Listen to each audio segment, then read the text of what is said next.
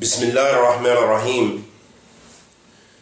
الحمد لله رب العالمين وصلى الله وسلم على نبينا محمد وعلى آله وصحبه وسلم أما بعد continuing on in our study of شرح السنة by Imam Al-Barbahari رحمه rahimahullah rahmatul alayh.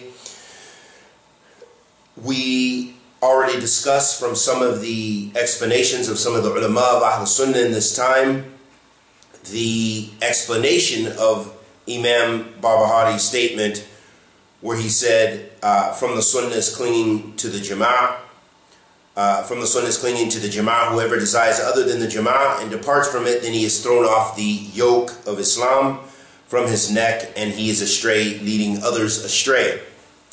And we mentioned some of the ahadith of the Prophet ﷺ, like the hadith, hadith al-iftiraq, uh, that the Ummah would split into 73 sects and all of them in the fire except one. And the Prophet ﷺ uh, was asked, Who are they, Ya Rasulullah? And the Prophet ﷺ said, Those who, meaning those who are saved, the saved sect, those who are upon what I am upon and what my companions are upon.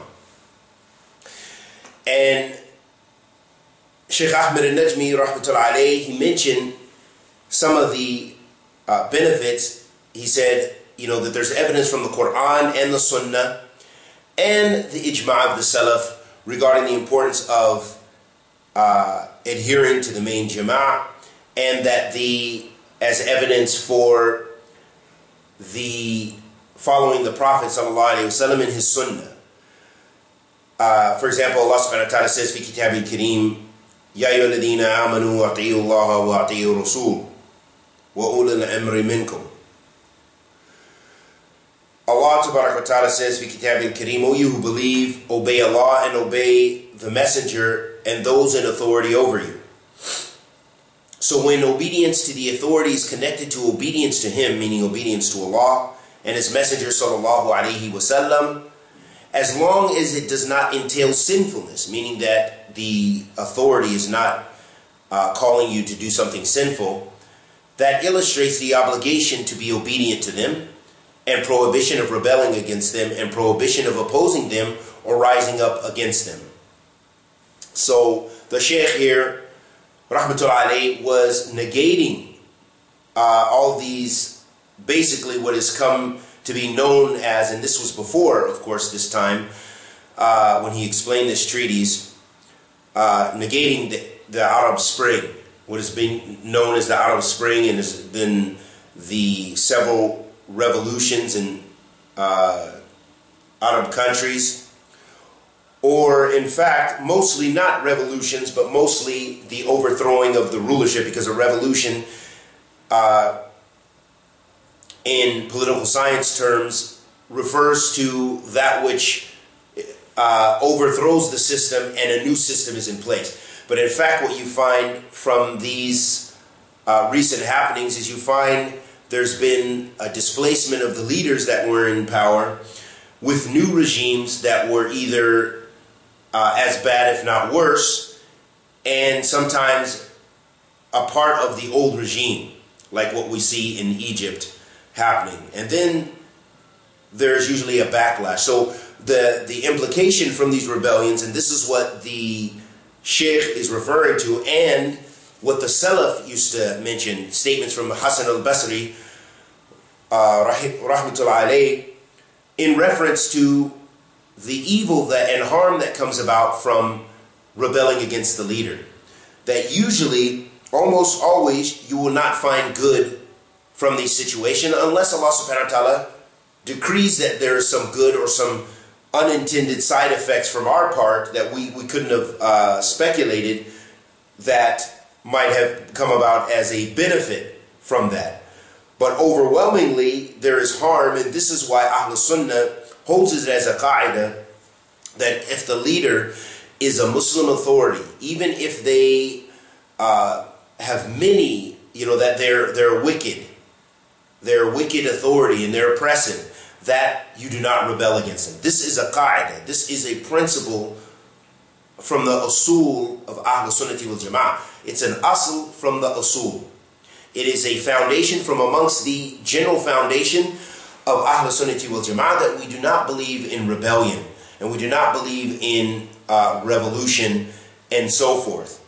And that if a situation in which the leader has clear, open disbelief, and that we have uh, that it is clear from Allah subhanahu wa ta'ala, uh, Allah has given us clear proof that this person is left of old Islam, then even with that, there are conditions as the ulama of Ahl Sunnah have stated out, have laid out, qadimin wa hadithan. You know, in the past up until now, that these are qawa'id. These are not something new from a group of scholars or as some people want to claim that it's the scholars of Sardiya or the scholars here and the scholars there. But in fact, these are qawa'id from Ahl Sunnah wal Jama'ah qadimin, before Imam Ahmed even.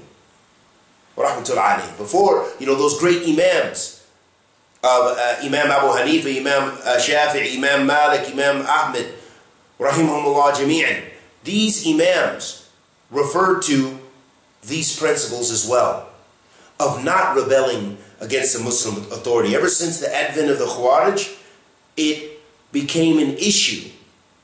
And so the Imams of Ahl Sunnah, in looking at the Nasus, looking at the text of the Quran and the Sunnah of the Prophet Wasallam, and the Salaf of this Ummah, and realizing the fasad of uh, participating in rebelling or urging people to go against the Muslim authority or what have you, that there's mainly shar, mainly evil that results from this. So this is uh, what uh, Sheikh, Yah, uh, Sheikh Ahmed al-Najmi rahmatullahi was making a, a point uh, about. That it is a, as he said, rahmatullahi he said prohibition of rebelling against them and prohibition of opposing them or rising up against them. That there is the prohibition of these things and there's an obligation, the ayat that we mentioned, is it illustrates the obligation to be obedient to the Muslim authority as long as they don't call you to disobedience to Allah subhanahu wa ta'ala.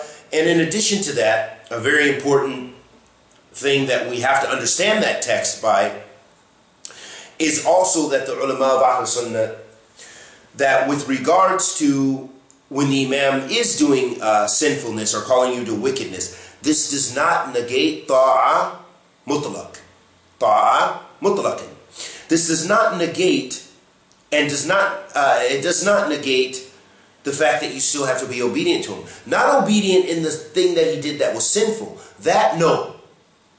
But that doesn't negate all the other good or all the other things that he commands that are in agreement with the Sharia, in agreement with the commands of Allah and the Sunnah of the Messenger of Allah. So, for example, if you have a country and the country has mukhalafat. They have many things which go against the Sharia. They're a Muslim authority. That doesn't mean you say, well, the leader is not uh, ruling by the book of Allah in totality, or very little is ruling uh, of his rulership is, is by the book of Allah, so we're going to rebel against him. No. And if he orders you, for example, he says riba or taking interest is lawful, and I want everyone to take riba. You must take riba. Well, you don't obey him in that. But that doesn't negate the fact that uh, the other laws that he is implementing, that you don't obey him in those other laws, which are in accordance with the Sharia. So it doesn't negate all uh, obedience to him. This is very, very important.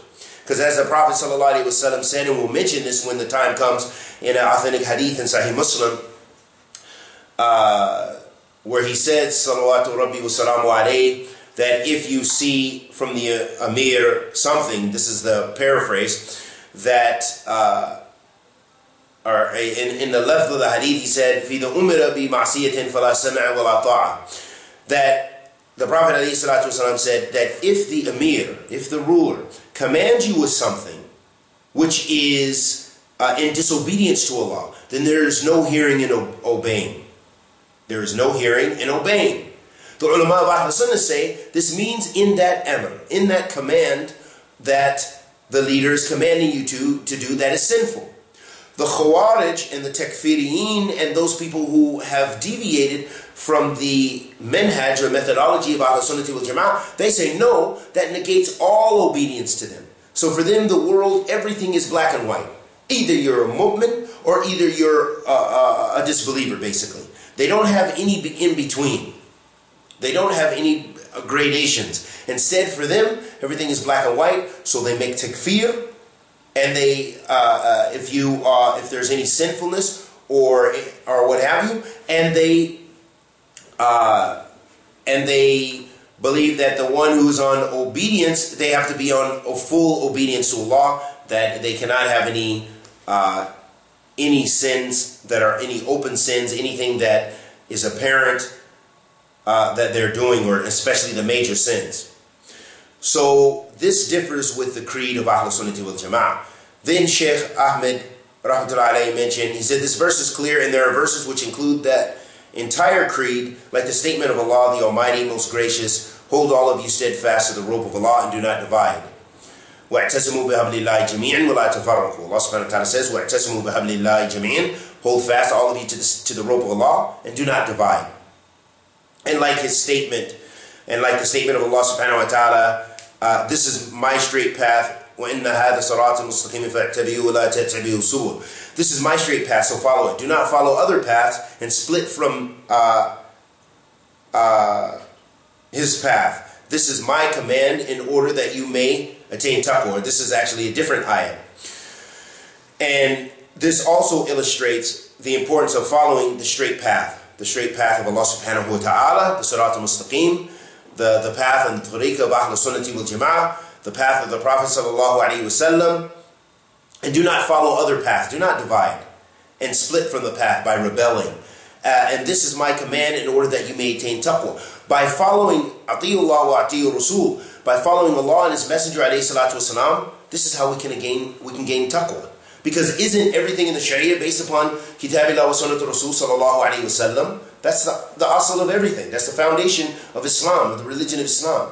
So that will also, aside from the nusus that mention that we will attain taqwa from uh, from obedience to Allah and His Messenger, alayhi salatu wasalam, and will uh, receive success, لَعَلَّكُمْ تُفْلِحُونَ, in order that you will be successful by being obedient and obeying, uh, obeying the Messenger sallallahu alayhi wasallam, that this is the Sirat al-Mustaqim. And this is the path of the mu'mineen. And this will help you in your ibadah. Why? Because everything that Allah subhanahu wa ta'ala and His Messenger sallallahu alayhi wasallam command to is good. And everything that they have, that they warn us from is, is evil and is something that's harmful for us as servants.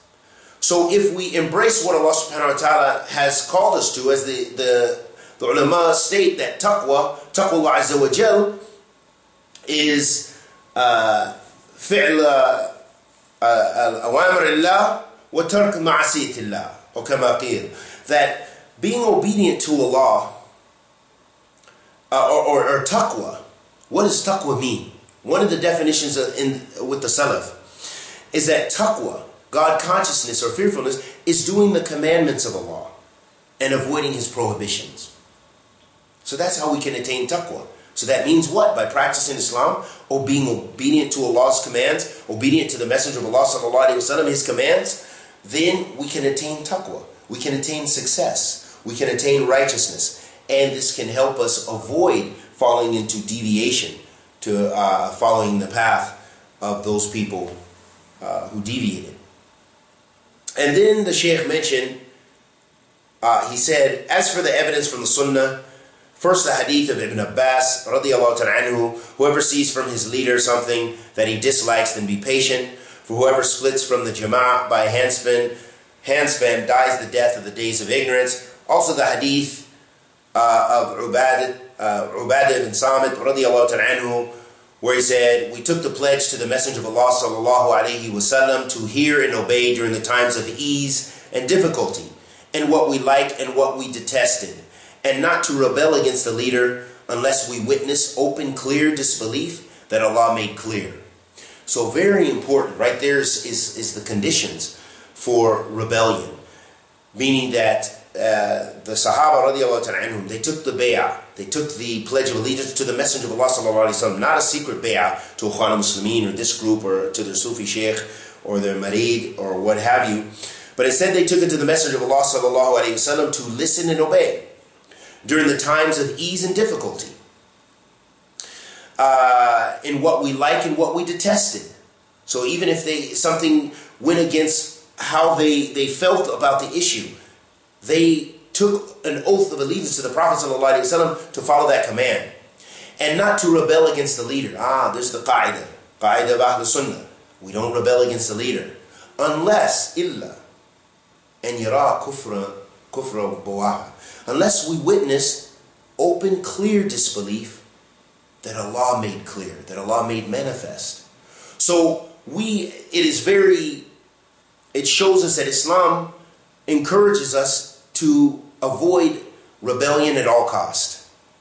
Unless the leader has open kufr, which ahl, this is that uh, the people, the, the ulama, the scholars, the people of knowledge have adjudicated that this imam or leader has left the fold of Islam. And then on top of that, then there's other conditions. You know, it, it, it goes back to the general qaida of Ahl Sunnah, or the qaida in Islam, that uh, we look at the maslaha wa mafsada.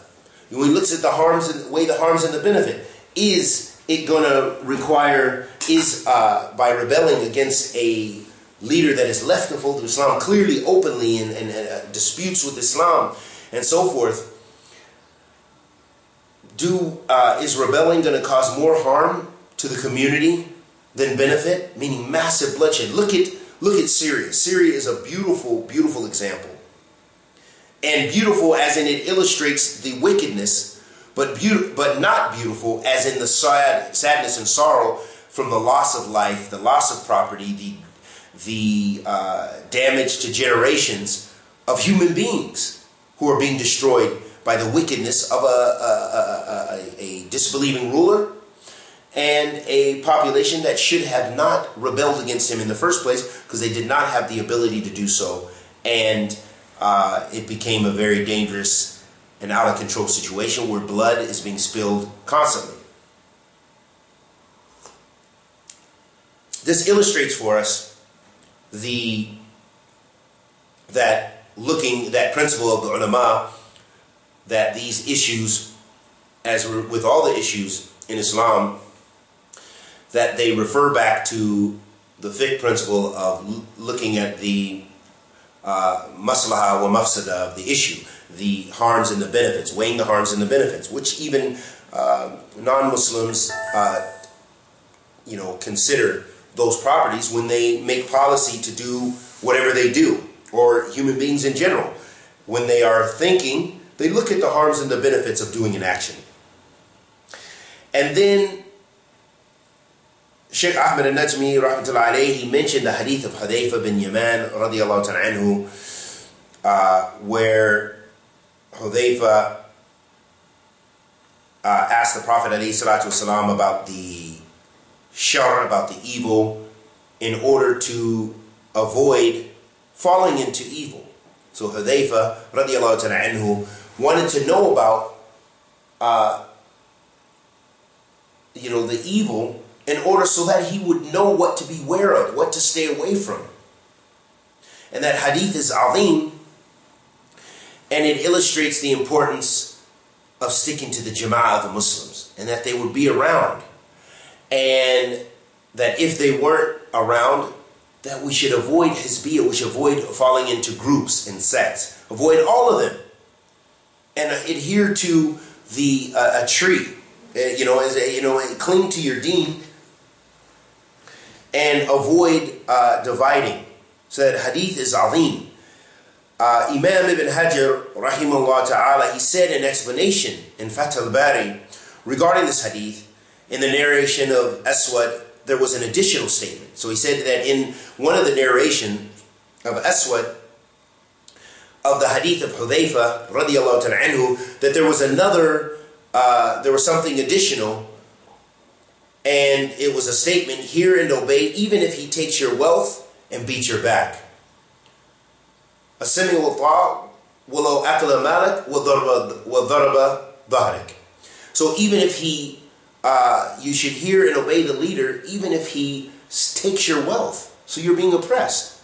And he beats your back. He's physically beating you.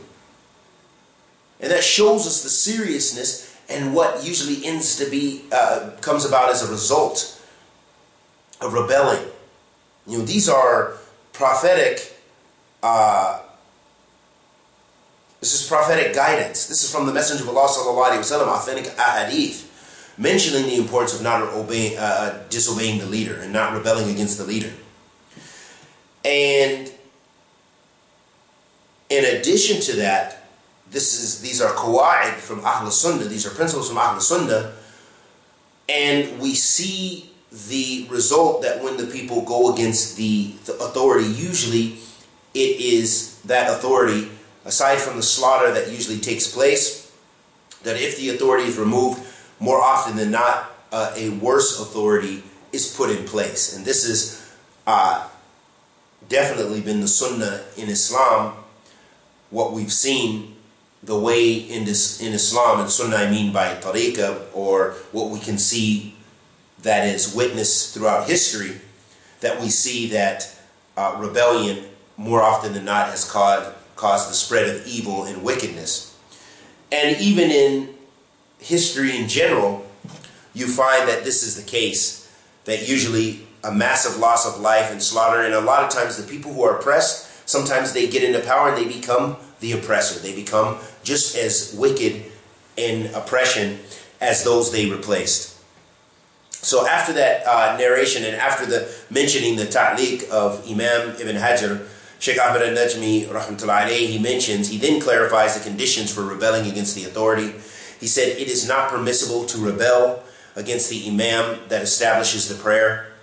And unless he has clear, open, indisputable disbelief, that is manifested by a law. And that indisputable disbelief, meaning the ulama, it's not a masail uh, which is uh, has to do ijtihadi, you know, and that the ulama differ of whether that's disbelief or not. So it must be something that there's uh, an agreement because it, could you imagine how dangerous that would be if one alim makes a judgment and says, yes, this man has left the fold of Islam, and another alim says, no, that is sinful, but he's not outside the fold of Islam. And another one, and then the harm that would um, result from that, and especially from those who follow that alim that has made takfir, or the society that follows that ruling.